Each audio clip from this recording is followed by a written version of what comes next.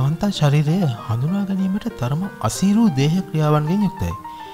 උදාහරණයක් ලෙස කාන්තාවකට දන්ත වෛද්‍යවරයෙක් මුණගැසීමට යාම හෝ රෝම ඉවත් කිරීම කරන්නට හොඳම කාලය වන්නේ ඇගේ ආර්ථව මාසේ අවසාන සතිය බව සොයාගෙන තියෙනවා. තවත් උදාහරණයක් ලෙස පියවරුවල ඇදෙන සුළු බව ඇය ගන්න ද්‍රව ප්‍රමාණය අනුව තීරණයවීම සැලකිය හැකි. ඉතින් අපි අද ඉදිරිපත් කාන්න සූදානම් වෙන්නේ කාන්තාවගේ මෙන්න මේ වගේ සැඟවුණු තොරතුරු ටිකක්. අපගේ හතර වටින් YouTube චැනල් එක සබස්ක්‍රයිබ් කරලා නැත්නම් දැන්ම සබස්ක්‍රයිබ් කලික් කරන්න. මේ කුඩා සීනුව කලික් කිරීමෙන් අපගේ නවතම වීඩියෝ අප්ලෝඩ් කළ සැනින් දැනගන්න පුළුවන්. මේවා ඇයට සිය එදිනෙදා ජීවිතය පහසුවෙන් ගත කිරීමට ඉවහල් වෙනවා. වැඩිපුර ව්‍යායාම කිරීම ආර්ථව චක්‍රය අක්‍රෝමත් කිරීමට හේතු වෙනවා. සාමාන්‍යයෙන් කායික ව්‍යායාම කිරීම කාන්තාවකට මාසික ශුද්ධවීමේදී ඇතිවන වේදනාව අඩු කරනවා. නමුත් ඇය ඕනෑමට වඩා වැඩියෙන් කායක ව්‍යායාමවල ඉදනොත් මේ තත්ත්වය මීට හාත් පසින් වෙනස් විය හැකි. වැඩිපුර ව්‍යායාම් කිරීම ශරීරයේ හෝමෝන ස්තුලිත්තාව වෙනස් කිරීමට හේතුවෙනවා. මේ කාන්තාවගේ ආර්ථව චක්‍රය අක්‍රමාත් කිරීමට හේතුවන බව කිවයුතුයි. නමුත් ඔබ ව්‍යායාම් නතර කළ යුතුයයි මේ නදහස් වෙන නැහැ. මේ නදහස් වෙන්නේ ඔබ ව්‍යායාම් කිරීම කිසියම් ප්‍රමාණයකට කළ යුතු බවයි. කාන්තාවගේ පියවරු ඇගේ ශරීරයේ සෞඛ්‍ය විදහාපාන බව සොයාගෙන තියෙනවා. උදාහරණයක් ලෙස ඔබ කිරිදෙන මමක් නොවේ නම් වේදනාවක් ඇතත් නැතත් ශීරගන්තිවලින් කිසියම් බහිස්්‍රාවයක් දක්ට ලැබීම හෝමෝන අසමතුලිතාවයක් හෝ ඩිම්බකෝෂවල කිසියම් දෝෂයක් ඇති බව ලක්ෂණයක්. ඉතින් මෙවන් අවස්ථාවක ඔබ කළ යුත්තේ වහම සුදුසුකම්ලත් වෛද්‍යවරයෙකු මුණගැසීම.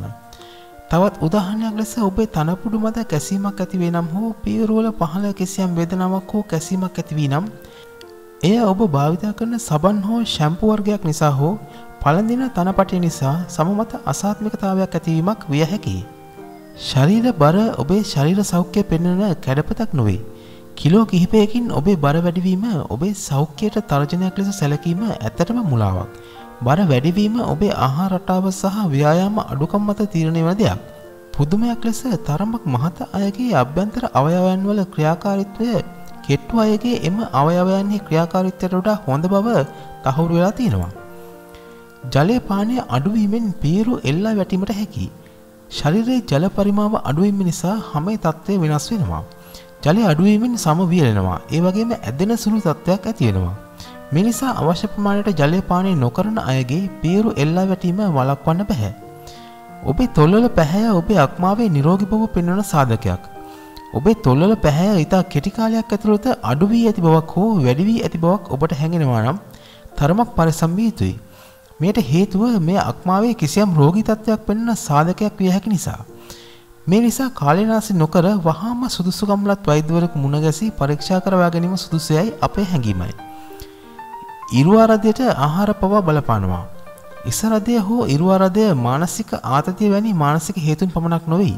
අප ගන්න ආහාරත් බලපාන බව ඔබ මොහොතකට සිතුවාද. උදාහරණ ලෙස දොඩම් යුෂ චොකලට් චීස් කජුවර්ග හෝ දුම්පානය ඉරුවාරදය ඇතිවීමට උපකාර වෙනවා. කාන්තාවක් ගර්භණවීමට ඇයට ඇත්තේ මාසයකින් දින හයක පමණ කෙටි කාලයක්. ශුක්‍රාණුවකට ස්ත්‍රේකගේ ප්‍රජන පද්ධතිය තුළ සජීවී ලෙස සිටිය හැක්කේ දින පහක් පමණයි. ඩිම්බයක් මෝචනය වූ පසු එහි සරු කාලය පවතින්නේ පැය විසි හතරක්. මේ නිසා කාන්තාවකට ගැබ් ගැනීමට හැකිවන්නේ ඩිම්බේ නිකුත් වූ දිනේ හෝ ඊට දින පහකට පෙර සංසර්ගය යෙදුනත් පමණයි. නින්ද අඩුවීම උදරය මහත්වීමට හේතු වෙනවා. නින්ද අඩුවීම නිසා උදරයේ මේදයෙන් තැන්පත්වීම වැඩි වෙනවා. කාන්තාවක් නින්ද අඩුවෙන් ගතහොත් ඇගේ ශරීර ශක්තිය අඩු වෙනවා. මේ නිසා ශරීරය විසින් ඇගේ උදර ප්‍රදේශයේ වැඩිපුර මේදේ තැන්පත් කරනවා. මේ නිසා පැතලි උදරයක් ලබා ගැනීමට අදහස් කරන ඔබ දිනකට පැය 8ක් 9ක් අතර නිින්දක් ලබා ගත යුතුමයි. කිසියම් වේදනාවක් කාන්තාවකට මාසයේ සෑම දිනකම එක වගේ දැනෙන්නේ නැහැ. මේක පුදුම හිතෙන කතාවක් වුණත් කාන්තාවගේ ශරීරය මාසය තුළ සෑම දිනකම වෙනස් වෙනවා. ඒ ඇයගේ ආර්ථව චක්‍ර නිසා ඇතිවන හෝමෝන වෙනස්කම් වලට අනුව ආර්ථව චක්‍රයේ අවසාන දින කිහිපයේදී ඇය වේදනාවන්ට අඩු සංවේදීතාවයක් පෙන්눔 කරනවා. විසි තුන්වන දිනය සහ විසි අටවන දිනය අතර කාලයේ ඊස්ට්‍රජන් මට්ටම අඩුවීම නිසා සංවේදීතාවයත් අඩු වෙනවා. අන්න ඒ නිසා තමයි අපි මුලින්ම කිව්වේ දන්ත වෛද්‍යවරයෙක් ළඟට යාමට හෝ වැක්ස් කිරීමට යාමට හොඳම දිනයන් වන්නේ ආර්ථව චක්‍රයේ අවසාන දින කිහිපය බව.